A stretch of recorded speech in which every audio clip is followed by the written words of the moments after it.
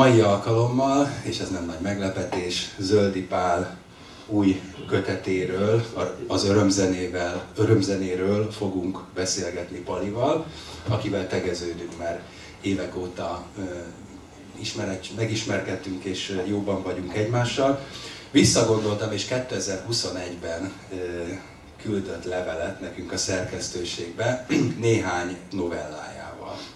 És ezek között volt a Seregély, Seregély című is, ami egyébként ebben a kötetben is szerepel, és én nem ismertem előtte sem személyesen Palit, de még sajnos a nevét sem hallottam. És elég ritka dolog az egy szerkesztő életében, amikor egy, egy vérbeli írónak a, az írásával ismerkedhet meg, és hát ezeket a pillanatokat igencsak számon tartjuk, hogy ezeket a találkozásokat. És nagyon meglepett ennek a novellának az ereje. Külön nem biztos, hogy ki fogunk térni ma rá ma este, de egy klarinét művészről szól, Fucsik Mártonról, akinek egyszer csak középkorú férfi lévén kisiklik az élete, és megismerkedik egy elég nyers modorú és kemény asszonynal, aki ráadásul főképpen lovakat gyógyít, és ilyen különös arhaikus neve van, Holló Mártának hívják, és ebből a találkozásból egy, hát azt hiszem, hogy egy, egy csoda fog történni, amit most nem is szeretnék elárulni. A lényeg az, hogy az egyik kedvencem ebből a kötetből ez a novella, és ez volt az az írás, amivel Pali két-három évvel ezelőtt először megkeresett. És akkor elkezdtünk, elkezdett nálunk publikálni, szerencsére azóta már elég sok számos folyó, folyóiratban látnak napvilágot az írásai, a szép írásai, és eljutottunk oda, hogy megtisztelt bennünket Pali a bizalmával, és ennek a kötetnek az anyagát átnyújtotta nekem azzal a szándékkal, hogy jelentessük meg könyvalakban, így dolgoztunk ezen a kéziraton, és jelent meg az idei könyvétre. Úgyhogy én azt hiszem, hogy mivel többnyire az ismerőseid vannak itt, Pali, nem kell téged bemutassalak, de szeretettel üdvözöllek téged is itt a körünkben, és nagyon köszönöm, hogy elfogadtad a meghívásunkat, ugyanis ez az első beszélgetésünk bemutatója ennek a kötetnek. Már is egy idézettel szeretném kezdeni, amit nem ebből a könyvetből fogok olvasni, hanem Palinak a Kerékvető című jegyzeteket tartalmazó kötetéből, ezek a tele, Duna televízióban elhangzott írásainak a gyűjteménye ez a kötet. Nagy bajban van a világ, ha a nagy apa nem talál időt arra, hogy leüljön. Ha nincs gondolkodó széke, egy kő a kertben, pad a parkban, ha nem találta meg a helyet, ahonnan mindent lát, a saját helyét a világ mindenségben. Ha nem tudja elfoglalni a helyét, hanem helytelen. Mert ezt keresünk egész életünkben.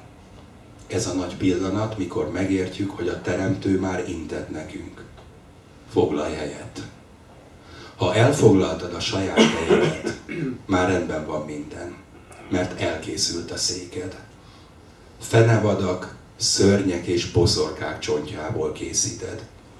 Keresd meg őket, hiszen ezért fontoskodsz, zajongsz, mert keresed a széked alkotó elemeit. Itt ugrunk egy kicsit. És a vége így hangzik, a gondolkodó szék és a királyi trón ugyanaz. És az a valaki, akinek van széke, ahol ülni nem munka és nem pihenés.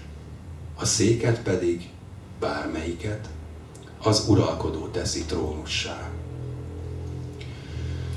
Én azt hiszem, hogy mindannyian értjük nagyjából, hogy miről beszélsz ebben a nagyon szép jegyzetedben. És feltűnt nekem, hogy az első komolyabb novellás kötetedben, aminek az a cím, hogy miért is nem találkoztak, és egy évvel előztem meg az örömzenét, ebben a Négerszék című írásban az apának ugyanez a problémája, hogy hiányzik neki nagyon az a szék hiányzik neki nagyon a saját helye. Nos, én azt hiszem, hogy te, ha hosszú utat tettél is, megérted, megtaláltad a székedet, és ez a szék az én szememben az íróságot is jelenti a terészedről, meg nyilván sok minden mást, ami talán szóba került majd ma este. Az utóbbi években kezdtél el igazán írni, ugye egymást követő években jelennek meg a könyveid, viszont az írás, és ezek közül is inkább a versírás, már versírással már fiatal korodban jelentkeztél, tehát költőként. Arra kérlek, hogy röviden idézd fel nekünk a pályakezdésedet. Hogyan kezdődött minden az íróság szempontjából? Be van kapcsolva. Nagyszerű. Úgy kezdődött, hogy érettségi után én Balatonboglára kerültem szőlőmunkásnak, brigádba. És hát ez egy nagyon sajátos közeg volt, ahol nekem meg kellett küzdenem minden napomért, hogy az vagyok-e, aki műtrágyát szór, vagy szőlőt metsz, vagy gödröt ás, vagy egyáltalán mire való a világ. Megpróbáltam túlélni, és ezért néha ilyen, ilyen erős fénykévéket, spotokat vetítettem az életemre, hogy, hogy valahogy megtaláljam az értelmét, és ebből fakadtak aztán a versek, mint olyanok. Tehát, hogy a, mi vagyunk a sziklák, rajtunk szakad szét a tenger csendje, belénk ütközve följajdul az Isten.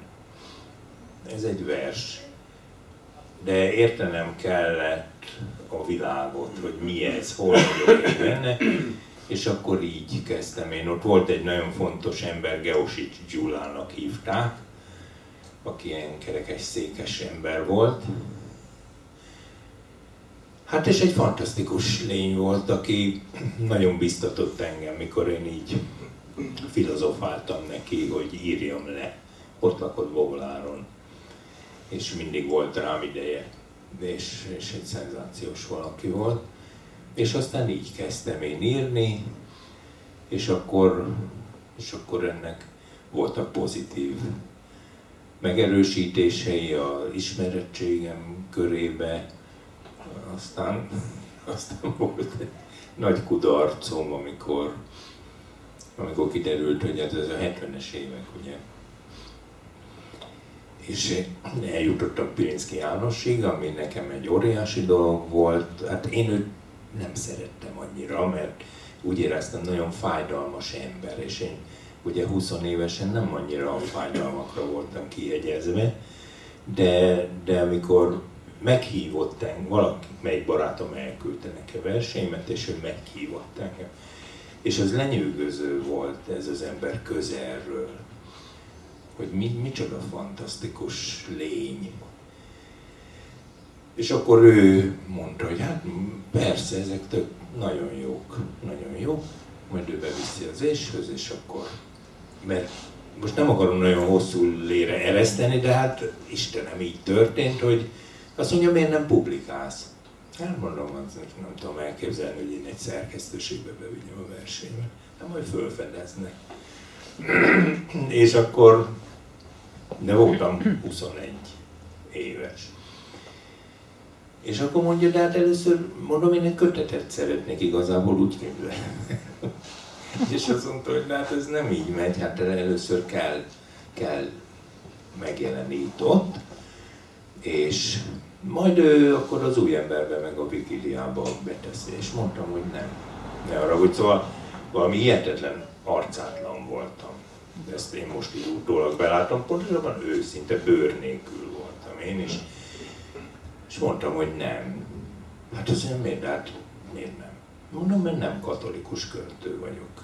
Én egy ember vagyok, akinek vannak gondolatai, de azt én is ott, ott jelenek meg, hát jegyzeteim vannak. És mondtam, te már megengedheted magadnak. Én az irodalomba cserét lépcsőn nem akarok fölmenni. Én vagy a nagykapun megyek be, vagy sem. És, és elfogadta, és azt mondta, jó, akkor beviszem az ésbe a dolgaidat. Na hát akkor itt kezdődött a kálvária, mondták, hogy na hát azért, na hát azért ideológiailag ilyen zavaros dolgokkal nem lehet itt jönni. És, és az engem rettenetesen nagyon vágott. Nem voltam érett, nem voltam, én egy alanyi költő voltam, úgyhogy akkor aztán vettem egy oldal utat, mert beláttam, hogy hát így ebbe a világba nem fogok megélni, mint művész. Hát zenéltem, szóval sok minden ilyen vidám dolgot csináltam közbe, abba az időbe, és hát nem tudtam, mi akarok lenni, tehát teológiára jártam, konzervgyárba dolgoztam éjjelenként, tehát meg volt a kis életem, de, de akkor aztán családot alapítottam nagy hirtelen, mert mondtam, hogy ez, ez, egy, ez, egy, ez egy biztos dolog. A világban a szüleimnek is volt családja, hát akkor én is ezt. Viszont ott megdöbbenve vettem észre, hogy le, le, le kell tegyem a hangszeremet a kezemből, nincs időm írni, mert egy nagyon határozott személyt vettem magam mellé, aki aztán nagyon tudta, hogy hogy kell élni. Nekem is. És én még mindig kialakulatlan voltam, és hát akkor elfogadtam, ja, hát ha ez a család, hát akkor ez a család jól nézett ki, de akkor ez van. És akkor csak így sutyiba a pad alatt tudtam írni néha. és akkor így, így, így, na most a pályám kezdete. Ez volt, és aztán akkor elmentünk Szegedre, de én elhatároztam, hogy nem írok többet verset, mert, mert hát, ha így lehet a versekről beszélni, hogy ez a szerkesztő nekem beszélt és földbetiport, akkor majd írok novellát, szövegeket, novellákat, Kafkát szerettem, és írtam, és akkor aztán végül megjelent a kutyabajokban néhány ilyen, de én csak leírtam a történeteimet, tehát semmi különös nem történt, nem volt nekem olyan nagy szándékom, de azért az bennem volt, és ezt most töredelmesen nyilvánosan bevallom, az Úr ír. Ez általános iskola olvasókönyv. Az Úr ír. És én bennem ez nagyon erősen bennem volt, hát végül is igen, hát ennyi a világnak a képlete, az Úr ír. Na de hogy jutok el ide? Azt nem tudtam. És mostanra, közel 70 évesen itt ülök, és azt mondom, hogy igen, megvan. Nem tudom, erre vonatkozott a kérdés, de ez egy érdekes összefoglaló volt. Pontosan erre is köszönjük szépen. általánosságban annyit mondanék, nem csak az örömzenéről, hanem az előző novellás kötetben is, amit egyből megérez az olvasó, és én is megéreztem, hogy nagyon gazdag életember és lélekismeret sugárzik ezekből a novellákból. Tehát ezért is figyeltem fel annyira az előbb emlegetett Seregély című novelládra, hogy most egy kicsit arról mesélj nekünk az életednek azokról a fontosabb állomásairól, amikor, amikor az emberekkel ismerkedtél meg mélyebben. Tehát most nem kifejezetten a barátokra gondolok, hanem azokra a szakmai váltásaidra, amelyek 50 éves korod után kezdődtek. 50 évesen egy igen komoly szögű fordulatot vettem. Ugyanis addigra én ki, ki küzdöttem magamnak egy ilyen polgári állást, hogy könyvtárigazgató, könyvtáros, mert hogy vezető vagyok, hát ez mindig az kiderült rólam, de a lényeg az, hogy de, de nem volt ez elég nekem, szóval éreztem, hogy ez egy, egy nagyon elhanyagolható dolog könyvtárosnak lenni, ez egy szellemi csatorna tisztítás tulajdonképpen, amennyiben rendet rak az ember. Ugye, egy, aki a haláltól fél, lehet, hogy az orvos lesz, aki a hitetlenséggel küzd, az talán pap lesz. Én nem tudom, hogy vannak ezek a dolgok, tudatlanságtól, az pedagógus. De a lényeg az, hogy én a rendetlenségtől féltem, ezért egy ilyen rendszerező szakmát találtam magamnak, mert iszonyú rendetlenség vett körül úgy kívül. Lényeg, meg ez nem szólt semmiről, tehát nem kellett elkötelezni magamat, mint könyvtáros. Viszont azt is láttam 50 éves koromban, egyrészt, hogy nincs tovább, jön a számítógép, meg mi, másrészt elértem az inkompetencia határomat, tehát maximum egy, egy ilyen minisztériumi, nem tudom ki lehetek még, de ennek nincs értelme. Egy végtelen unalmas élet vár rám. Gyerekek már nődögéltek, pontosan a Viola éppen 16 éves volt, mikor hazamentem, és azt mondtam otthon, hogy még két év, akkor Viola 18 lesz, mert az én elképzelésem szerint 18 éves korig kötelességem ellátni a általam nevelt gyerekeket, de onnantól már életképesnek kell lenniük. De akkor én váltok, bedobjuk a lapokat, mert mostantól értelmesen akarok élni, és nagyon félek a haláltól, meg a betegségtől, úgyhogy én elmegyek, és a cunamival szembefordulok, mert ez engem el fog érni, és akkor elő a hullámlovas tudományomat, és szembe megyek és elmegyek idős otthonba, a szociális területre, látni akarom a, a sebeket, a váladékokat, a büdösset, amit nem bírok, egyszerűen idegileg nem bírtam, a szervezetem nem bírtam, a kórház közelében nem bírtam menni. és akkor elmentem szociális területre dolgozni az egy döbbenetes nagy váltás volt. Három évvel beletelt, mire el tudtam fogadni, hogy meghalnak ott az emberek. Tehát nagyon keményen küzdöttem, hogy nem, nem, nem teheti meg, nem halhat meg.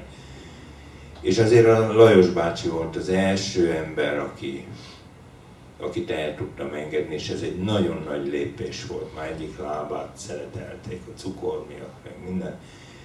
És mindig ő dolgattam a kerekesszékbe, és akkor egyik este elköszöntem tőlem, mindig mielőtt Pestre jöttem, ez Fehérváron volt ez, a, ez az öreg otthon, és mondtam neki, hogy de holnap jövök ám, nehogy, nehogy aztán ne menjünk sétálni, meg mi, és, és valahogy így a szemébe tudtam nézni, és valami, valami mélységes, mély fáradtságot láttam a Lajos bácsi szemébe és nem tudtam más, mint azt mondani, hogy értem.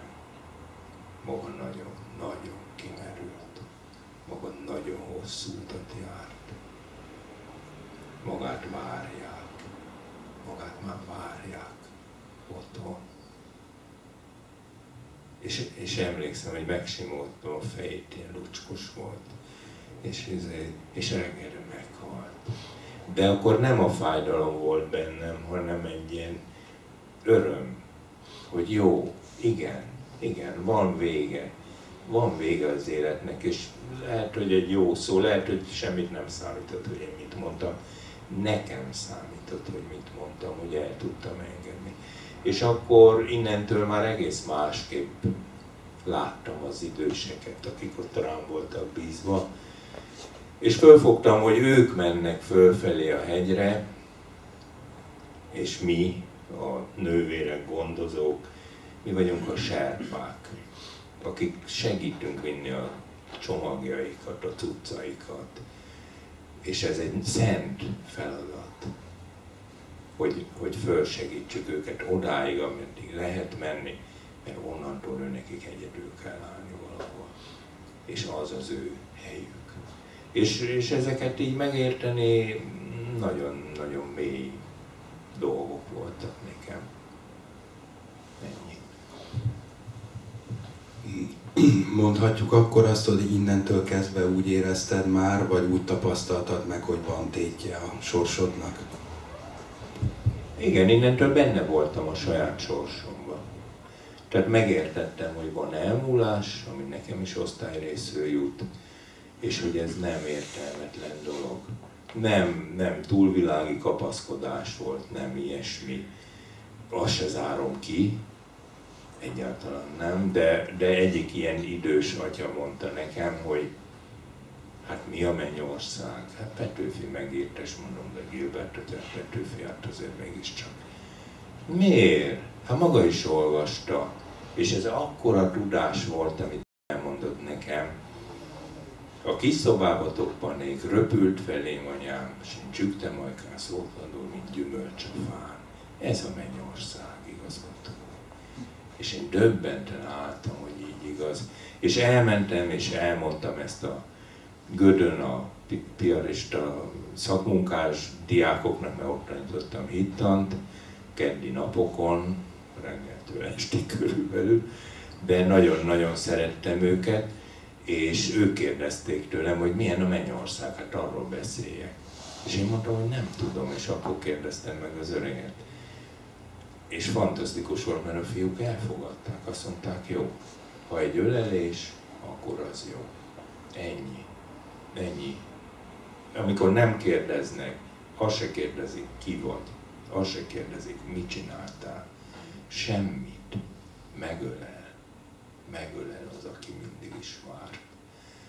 Úgyhogy ez, ez egy nagy élmény volt. Hát és akkor itt volt még élmény, ugye a gyerekek eleve, szócpetet el kellett végezzen, gyűlöltem tanulni egész életemben, szóval ha valami az a tanulás, az nem az én világom volt, de muszáj voltam megszerezni a képesítést. Ehhez kellett elmennem nekem. Elnézést, a, ne haragudj, a szociálpedagógusi végzettség az mihez kellett? ahhoz, hogy a szociális területen dolgozhassak. És, és hirtelen csak ezt találtam, mert mert én eléggé a ráérős fajta voltam, meg nem érdekelt nekem az egész, és egyszer mondom a gyerekeimnek, hogy na figyeljetek, most, akkor most van időm arra, hogy hova jelentkezzek. Most mondjátok meg. És akkor mondták, de hát papa, hát már, már lezárult, már a fölvételik is megvoltak. És akkor mondom, de hát akkor mégiscsak kell lenni valaminek, és akkor találtak egy kereszt fél éves képzést nekem, ez volt a szociálpedagógia. Mondom, jó, hát akkor megcsináljuk ezt, olyan mindegy, hát kell valami neve legyen a gyereknek. Hát azért, azért ez kemény volt, ezt nem gondoltam, hogy ez ilyen nehéz lesz. Viszont kellett ilyen gyakorló tanítást csinálni, és én erre a Gödi iskolát találtam meg, mert ugye Budapest, Vác, Göd, hát útba esett. És ott volt ismerettségem, jó? Azt mondták, hogy gyere ide tanítani, úgy szeretnek téged ezek a fiúk. Ó, hát tök jó volt, hát persze szerettek, mert hát ezek ácsok voltak, meg bádogosok, meg asztalosok, meg kovácsok, meg nem tudom mi, amin én mind-mind gyönyörködtem, ahogy ezek ott dolgoztak, ahogy földobták a vakolatot a falra, és az ott maradt. És, és, és amikor meg akartam próbálni, megengedték, és magyarázták, hogy de hogyan dobjam föl azzal a kanállal az anyagot, a majtert és akkor, és akkor kiderült, hogy ők nagyon megszerettek engem, és akkor, na, akkor lettem ott itt tanár heti egy nap. De minden osztályt tanítottam, az elég rendes időszak volt, de nagyon szerettem, mert hát én vallásos ember vagyok alapból, pontosabban hiten van, a vallásom az ilyen, de szóval keresztény katolikus, így mondom, ebben nevelkedtem. És akkor ugye na jó, hittan, akkor kidolgoztam a tanterv, tanmenet, óravázlatok, stb. És akkor, mikor elkezdtem nekik az első órát, emlékszem, köműves osztály volt, hát közbevágtam, hát hagyja abba. Hát mondom, miért, miért hagynám Hát maga eddig olyan normális volt. Mit jön itten a izéval, a világteremtésével? Hát mondom, de hát én itt tartom. Enged ez akkor se érdekel. És akkor mondtam, de hát, de hát gyerekek, hát fogtam a Bibliát, azt jól odavágtam az asztalra, mert nem, tanácstalan voltam. És mondom, na tudjátok mit? Hát ebbe a iskolába én vagyok az egyetlen tanár, aki nem akar nektek valami jót. Itt persze azt akartam mondani, hogy aki jót akar nektek, de rájöttem, hogy mindenki ezt mondja nekik, tehát én csak valami mást mondhatok, nem akar nektek valami jót. Ó, erre mind odafigyeltek, hogy jó, maga legalább őszinte. Na, hát akkor maga mit akar? Hát mondom, az a nagy helyzet, hogy magamnak akarok jót, mert a közületek évvégére egy barátom se lesz. megérdemlem, hogy szomjan dögöljek, és temetetlen heverjek az árokparton. Mert én legalább 20-25 nyárral többet éltem, mint ti. Ez biztos. És élek. Tehát valamit tudok az életről, amit ti még nem tudtok. És minden generáció köteles átadni azt, amit tud a következőknek. Azt mondták, jó, akkor beszéljen. Az életről beszél, beszéljen, és így aztán teljesen átdolgozódott az egész hittantlanítási rendszerem, meg minden, tehát, tehát fantasztikus jó volt. Tehát amikor a, most nem merülök el ennyire, de, de nagyon egyszerű, Ábrahám és Izsák története mindenki ismer, ugye föláldozza a kis Izsákot, jaj, és akkor mondja egyik gyerek, Rotti, Petko, piercing, minden. Hát azt mondja, hogy lehetett ilyen Isten. Mondom, hát ez finomabban is mondhatnád, de mondd a lényeget, és miért, miért, miért, miért csodálkozol ezen? Hát így megszopatni ezt az öreg embert, hát azért ez mégiscsak már. És akkor, ugye mivel nem voltam igazi tanár, és soha nem akartam volna tanár lenni, Hát elgondolkoztam, hogy ja, értem, értem. Amit mondasz, abban van kérdés. És akkor mondom, tudjátok mit? Gondolkodjunk el azon. Ki csukja be a szemét, és gondoljon arra, hogy az ő apjának van-e Istene, és ki az Istene, vagy mi az Istene. És akkor erre, hát mindenki, én is elmondtam, hogy az én apámnak az a, a művészet, meg a munka volt az Istene, ők is elmondták, hogy a pia, meg a nő, meg a nem tudom ki mindenki az Istene, és milyen az ő apjuk, és, és kiderült, hogy beáldozott titeket a Istenének az apátok. Hát mi az, hogy beáldozott? Simán. Mert ugye ebben a korban vagyunk, ők, ők izsákoló fiúk. Na mondom, és akkor gondoljunk bele, hogy akkor a, a szeretet Istenne is kérte azt, hogy tényleg beáldozza, vagy hagyta.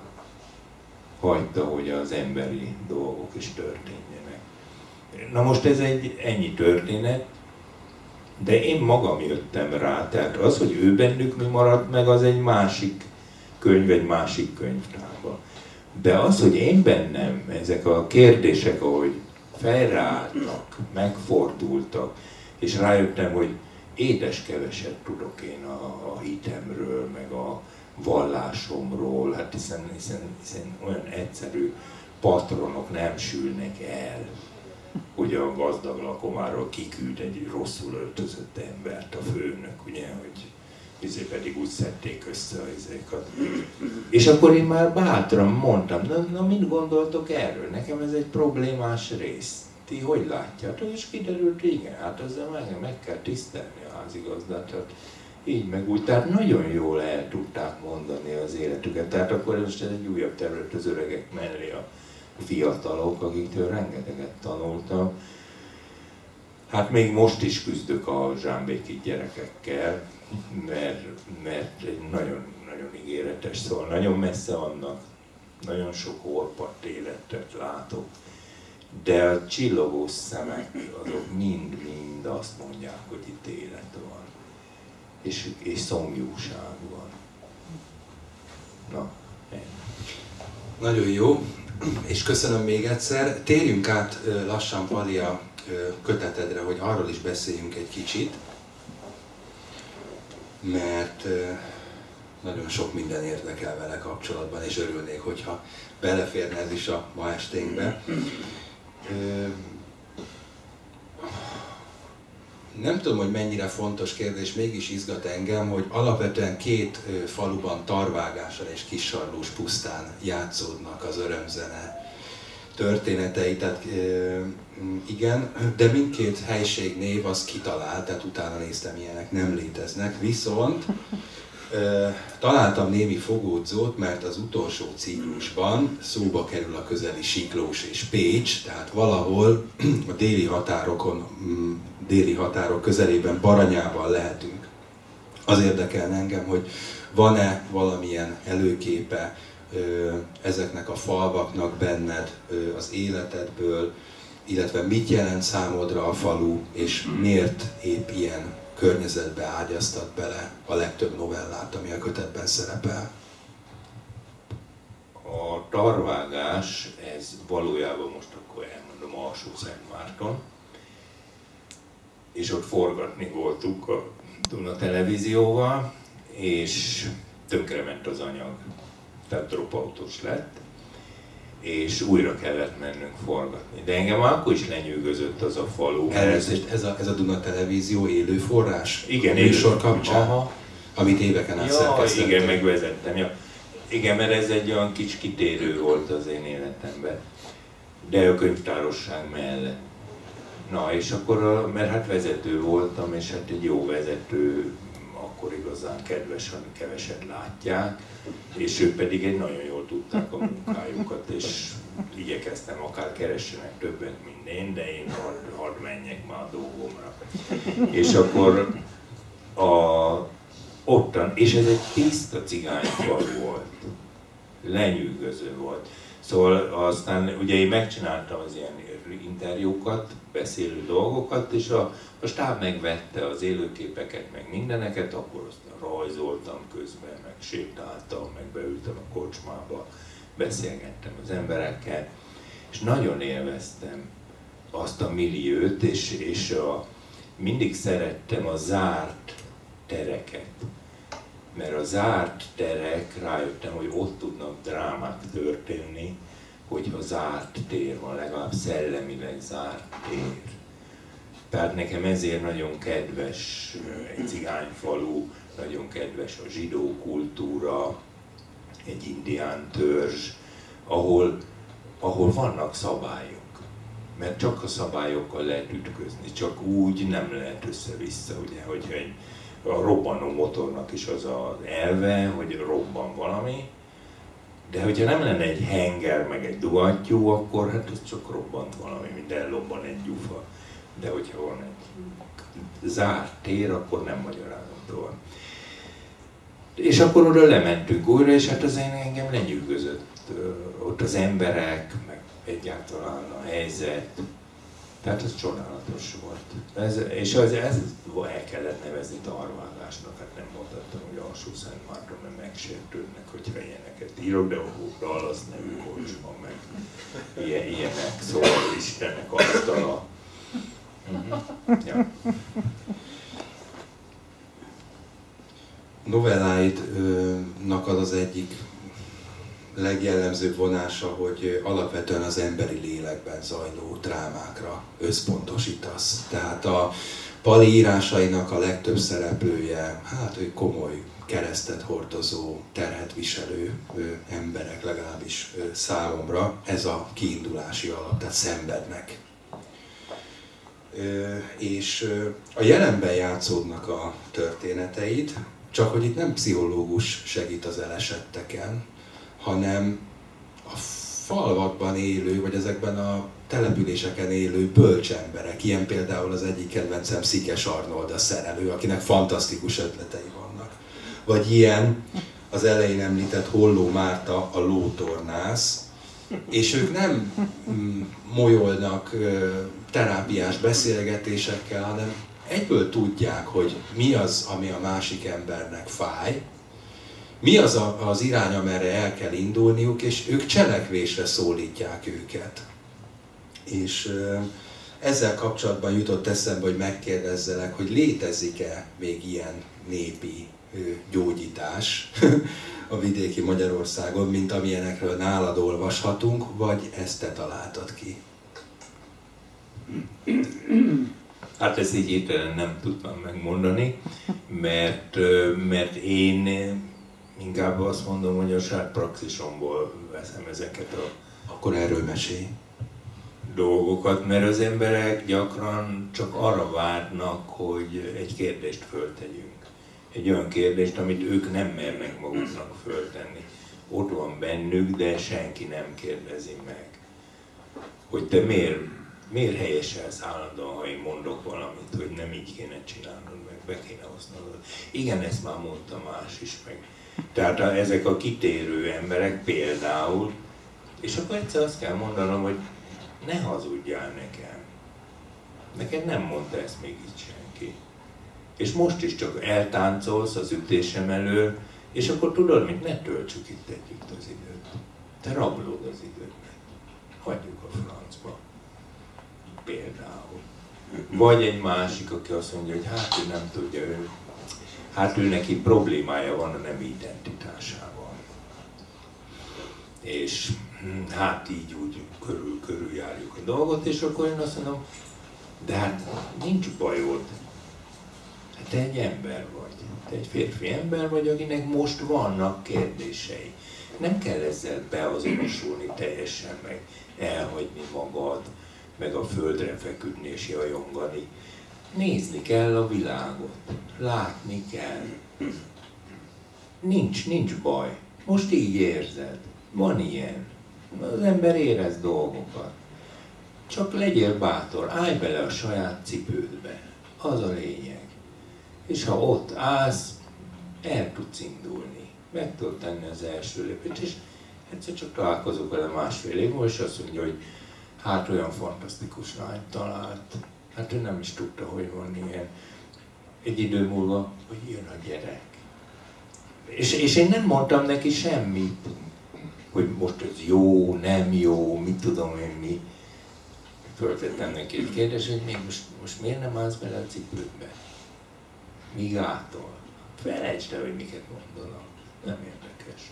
Tehát azért mondom én ilyen egyszerűen csak így ráébredek dolgokra, és akkor vagy lehet, hogy én benne vagyok egy helyzetben, és akkor, akkor valahogy ilyen, ilyen kis figurák jelennek meg nekem, akik jé, ez ezt mondja, ez azt mondhatná, hú, szétszedi a melodikát, ó, francba, miért szedte szét, és nem tudja összerakni tovább.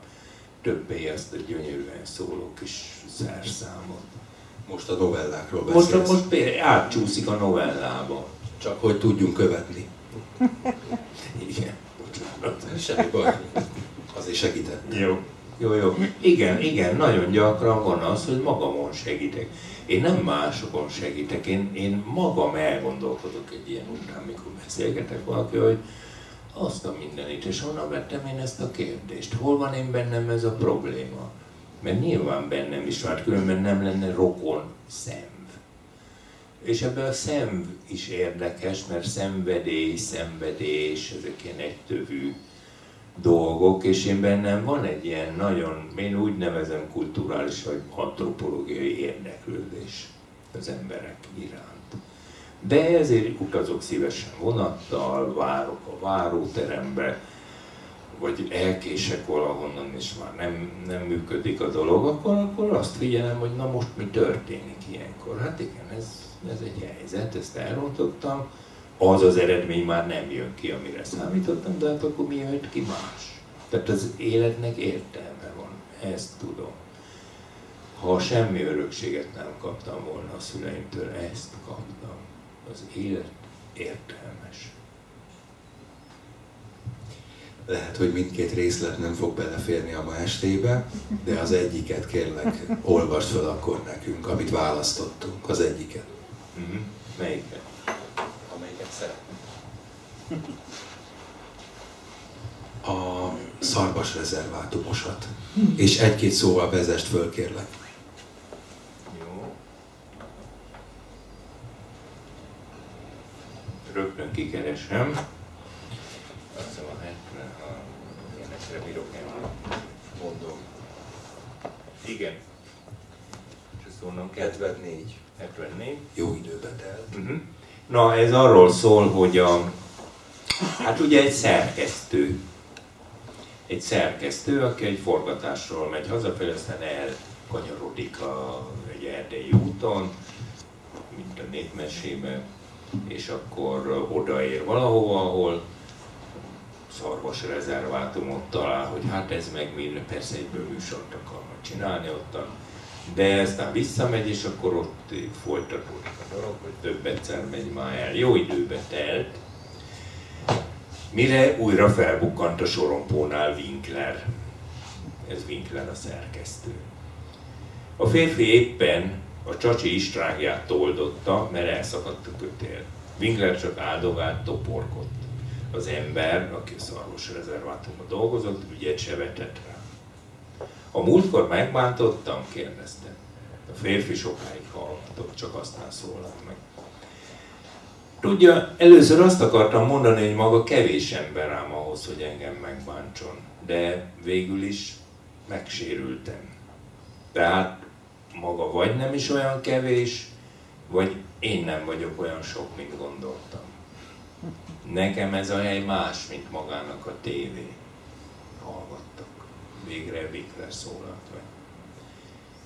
De maga azt mondta, hogy itt dolgozik, mikor találkoztunk. Hát azt mondta. Hát nekem meg az a dolgom, a munkám, érti, hogy lássak. És mit akar látni? Winkler nem tudta megfogalmazni a választ, ugyanis azért jött ki, mert ő rájött, hogy ő szeretne, ha már így összebarátkozott ezzel az emberrel, akkor egy trófeát szerezzen. Ha nem ő lövi, az se baj, az ember ad neki, azt is el tudja mesélni, hogy hogy lőtte, de a lényeg az, hogy legyen egy trófea. De az ember meg nem reagált erre a kérdésére, és most is nagy sokára szólalt meg, és Winkler nem is értette. És kinyögte, hogy talán magamat akarom látni. A férfi megállt, nézett rá. Winklerből kigördült néhány szó mondat. Látni akarom, miért nem érzem jól magamat ott, ahol vagyok? Egyáltalán hol vagyok? Csinálom az értelmetlen műsorokat. A tegnapi riportból sem emlékszem semmire, csak hogy az asszisztensnek milyen rövid volt a szoknyája. Miért nem azt csinálom, amit, amit, amit még soha nem mertem végig gondolni? Miért nem a helyemen vagyok? Az ember nem szólt, tette a dolgát, aztán bement az irodába, de nem hívta most se. Winkler egyedül volt. A balladákba a vadászó fiúk csutaszarvas találtak, gondolta hajszolták, meg akarták lőni Kolompolt a fejében. Mindenféle hülyeséget összeénekelnek ezek, és aztán jön egy okos, begyűjti és közreadja, és de mi az értelme ennek az egésznek? Ugyanis Winkler tanulmányozta a témát. A szarvas rezervátumról akar filmet csinálni, utána járt, és ott voltak a szarvassá változott fiúk. A férfi egyszer csak kilépett a házból, puska volt nála, ráfordította a kulcsot, és elindult a kordé felé. Na jön? kérdezte váratlanul. Wingler egy pillanatra lebénult, aztán még a kocsiját is elfelejtette bezárni, olyan gyorsan mászott föl a bakra. Hallgatott, meg volt ütődve és illetődve. Még a segítséget se ajánlotta fel, mikor megálltak egy egyetetőnél csak ült. Megálltak, elindultak, lerakottak. Itt is, ott is. A férfi tette a dolgát. Aztán felült. A puskát elővette az ülés alól. Megtöltötte, gyakorlott mozdulatokkal, egymás után három töltényt rá. Tudja használni? kérdezte. Winklernek leesett az állat hát volt katona, bólintott. Na mert ha koronát akar, sorra támasztotta a fegyvert kettőjük közé. Gyeplően kicsit megnógatta a csacsit. Na gyerünk! Winkler nem szólt, az volt az érzése, hogy ő itt egyáltalán nem beszélhet. Ahogy némán haladtak, Winkler érezte közelednek. Egy idő után nem tudta nem észrevenni, hogy a férfi lassan, módszeresen fújtatva kezd lélegezni. Előbb csak zihált, vagy zümmögni, végül énekelni kezdett. Valamit énekel, de nem volt érthető a szövege. Míg nem lassan elkezdtek pattogni az ágak, majd hajladoztak, recsegtek, ropogtak a fák, és a kopár téli erdő különös fénybe öltözött. Rózsaszín, piros és kék árnyalatot kaptak a törzsek, itt-ott átvillant a sárga és a tojás sárgájának vörösbe hajló színe. Az ember meg mellette egyre bátrabban, mélyen hörgött a torkából, szinte lökte, lövelte ki magából a hangokat. Ritmusa szelíd, sodró és megállíthatatlan volt. A süvítő szél csendesedett, ahogy a kordé megállt. A férfi elhallgatott, és csak hosszan, hangosan nagyokat lélegzett. Aztán lassan leszállt. Winkler mozdulni sem mert, mintha ott se lett volna. Látta. A koronás szarvas ott állt. Felemelt fejjel lépett a közelítő férfi felé, aki csendes hangokat böfögött, néha öklendezett ki a torkából. Oda lépett, tenyerét az állat szája elé tartotta, aztán átkarolta a nyakát és ráborult. A szarvas jól esően fente forgatta a fejét, nyakát. Morogtak, doromboltak, becézgették egymást. Szellős erezdőlt, Nesz se hallott. Ki tudja, mennyi idő telt.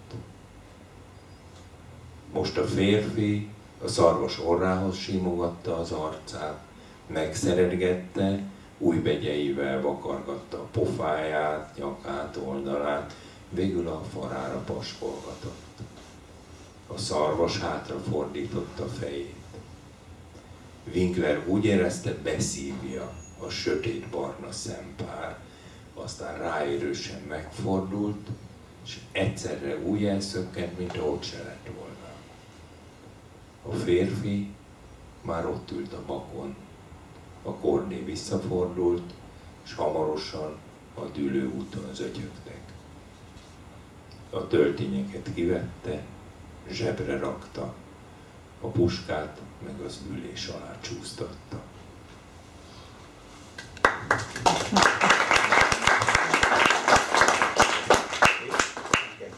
Ja, nem. Van még néhány percünk. Úgy, hogy azt nézem, hogy mit kérdezhetnék még tőled, mert örülnék akkor, hogyha beszélgetéssel töltenénk el ezt a maradék időt. De tudom, mit szeretnék kérdezni. A történetei át vannak itatva csodákkal. Ez megfigyelhető csodás fordulatokkal, bibliai történetek elevenednek meg a novellákban, szenteket emelsz be a történetekbe, de ugyanígy merítesz a régi magyar hitvilágból is. Például van egy kisfiú, akit Nózikának hívnak, és manókkal és tündérekkel társalog, és hűséges társa Kaponyányi Monyók az Emese című novellában. Itt van például a szarvasokkal társalgó Nagy Sándor is, akit most hallhattunk az Üres Tető című novellából, de a rontásra, mint csodatételre is van példa a Pipacsok című írásból. Na most ezek, a, ezek az ősi történetek, motívumok, ezek nagyon kitágítják a novelláidban a kézzelfogható valóságos cselekményt vagy történéseket. Ezek élnek és lélegeznek a te ö, írásaidban, mint egy mágikussá teszik őket, és mint az előbb is mondtad, hogy hívő, hát katolikus, idézőjelben mondtad, ember vagy, hittant is tanítasz, íróként mégis, minthogyha összeadódtak volna benned ezek a különböző hitvallások vagy hitvilágok. Mit gondolsz erről? Azt, hogy a, tulajdonképp az, hogy azt mondom, hogy katolikus vagyok, és hogy ehhez egy kicsit elhúzom a számat, nem azt jelenti, hogy nem vagyok az, hanem tudom, hogy ez a szalonképes ruházat a, a léleknek, ez egyik szalonképes ruházat itt a világban. Ahogy, ahogy ide eljöttem, hát gondolkoztam, hogy zakó, nem zakó, amelyik jön rám, ugye, jó. De mégis zakó az, ami. Most a, nekem a katolicizmus is egy ilyen zakó. De valójában Isten mesztelen. és amikor én megölelem, én is vagyok.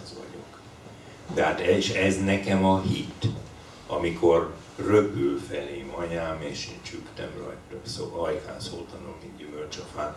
Tehát én úgy érzem, hogy előbb vannak ezek a mágikusnak is nevezhető mozdulatok az emberbe, amikor ránézek valakire, amikor mondok valamit, amikor visszajön és azt mondja, hogy nekem olyan sokat jelentett, hogy akkor te köszöntél nekem.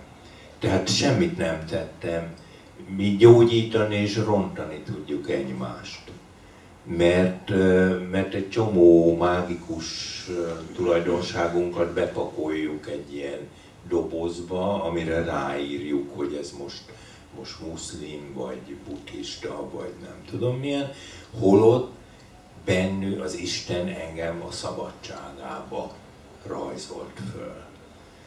És, és én azt gondolom, hogy ezek vannak előbb, és utána jön az, hogy most milyen vallás, meg milyen templom, meg nem tudom.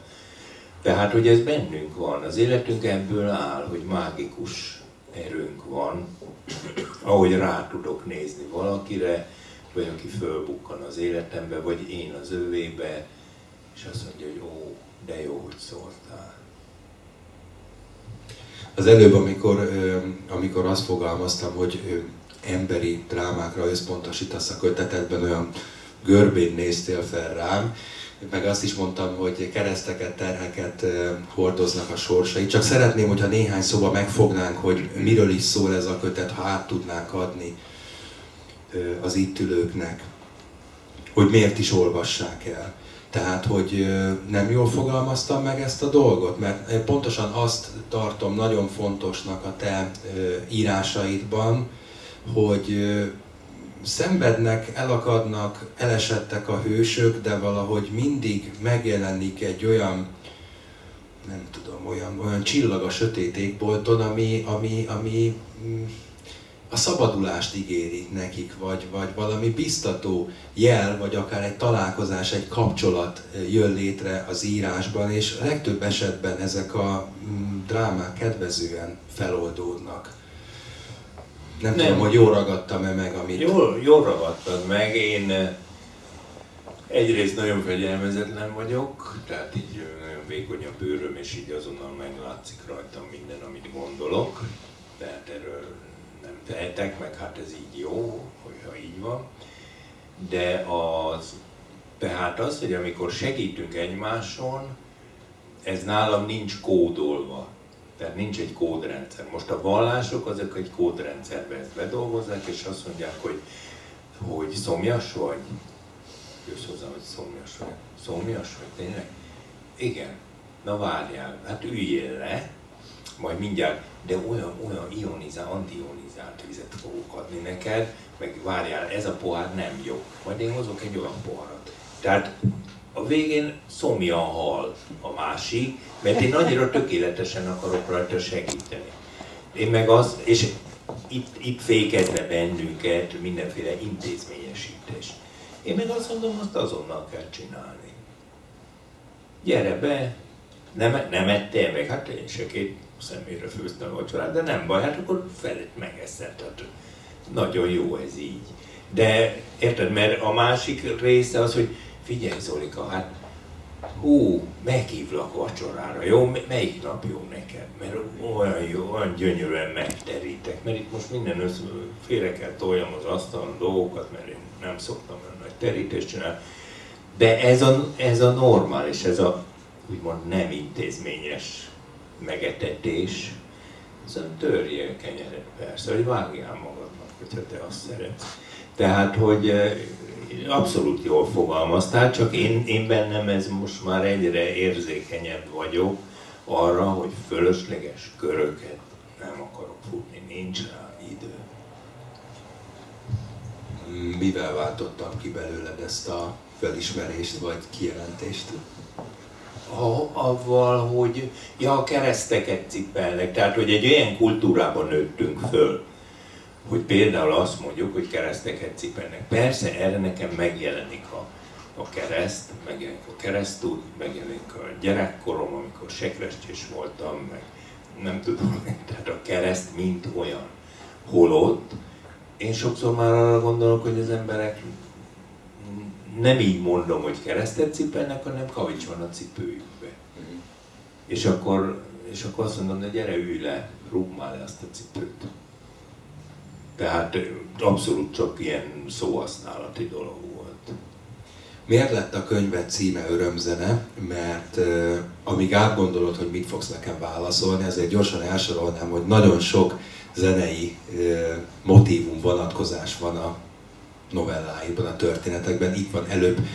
Említetted a melódikát, amikor egy középkorú férfi megtalálja ezt a gyerekek által hangszert, használt hangszert a háztartásban, elkezd vele, azt hazudja, hogy ő tud játszani, és akkor megtanulja az Il Silenciót, ez az olasz takarodó dalt, elkezdi játszani, és azt veszi észre, hogy napra nap megállnak az emberek a faluba, az utcán, és hallgatják. És valaki jobban is lesz tőle.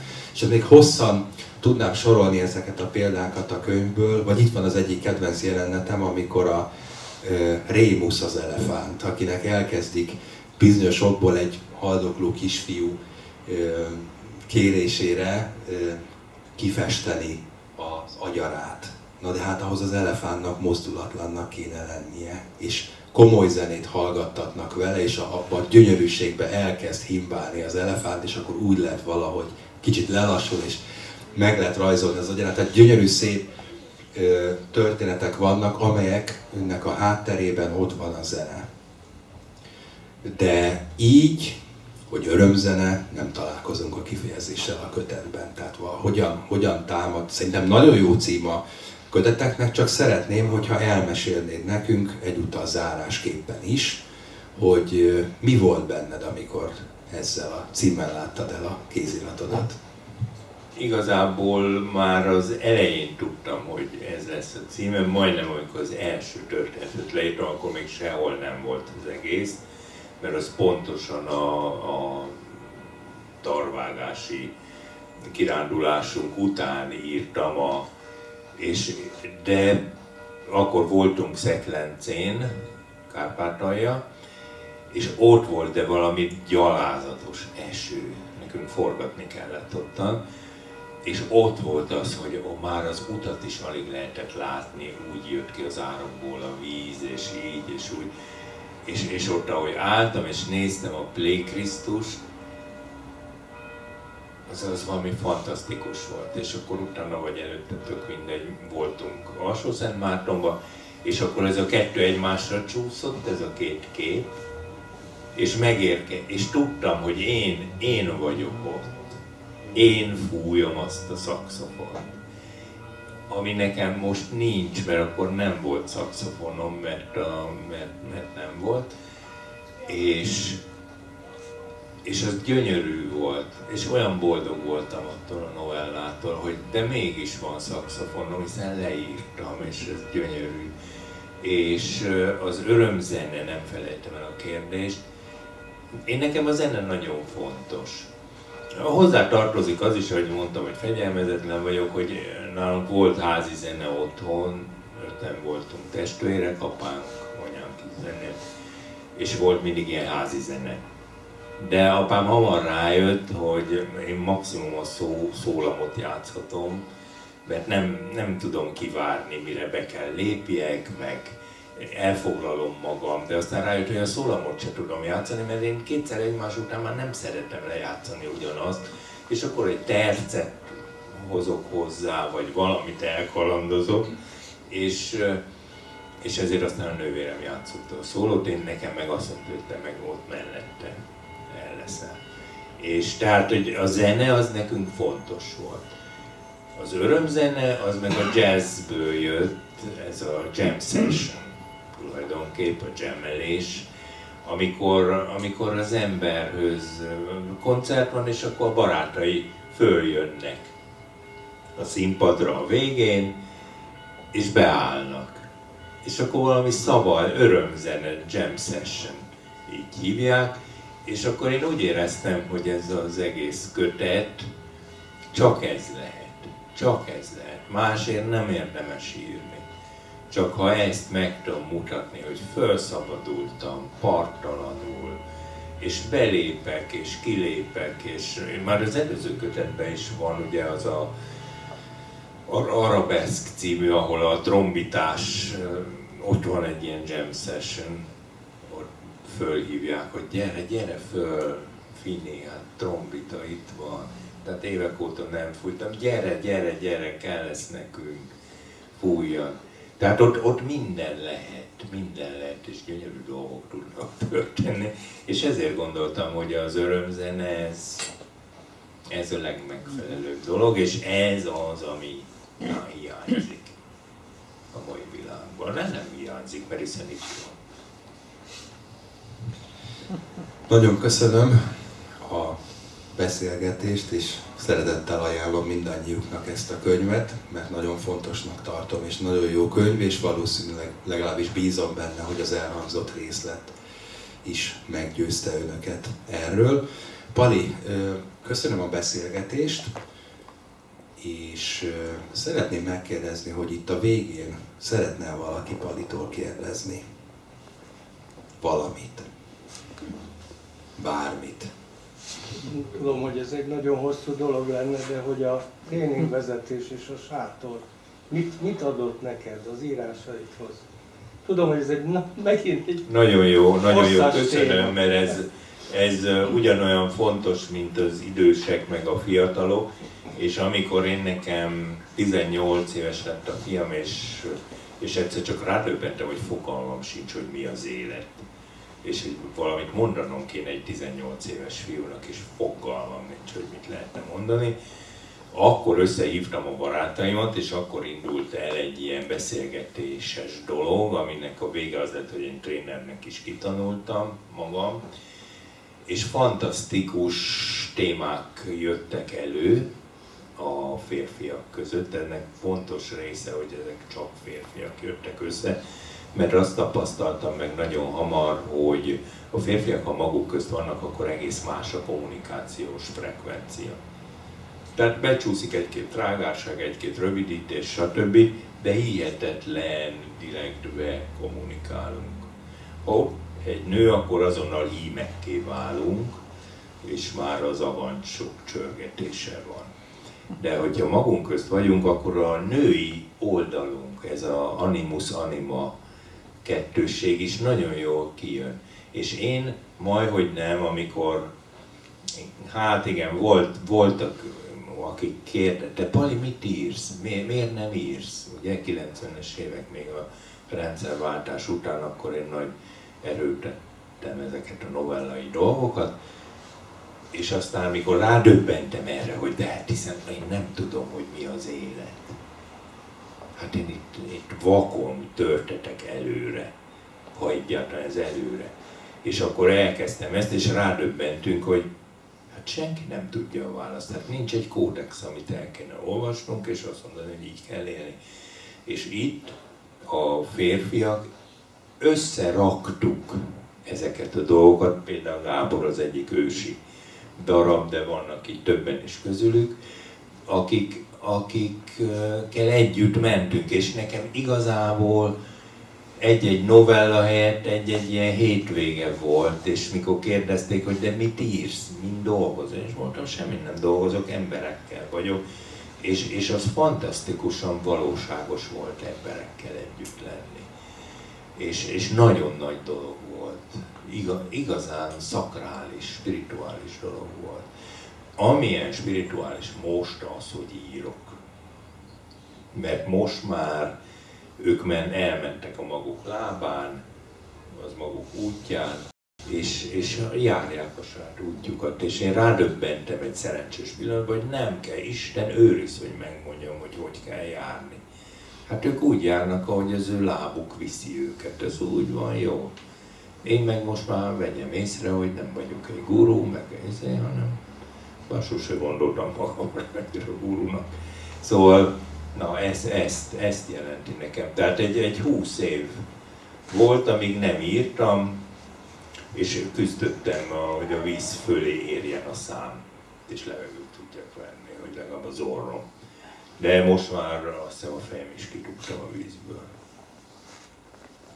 Így. Jaj, mi kérdezetek ilyen jókat. De ha nem, hát nem. Akkor szeretném megköszönni a megtisztelő figyelmüket, és készültünk egy kis pogácsával, vízzel, lehet folytatni a beszélgetést kötetlenebbül.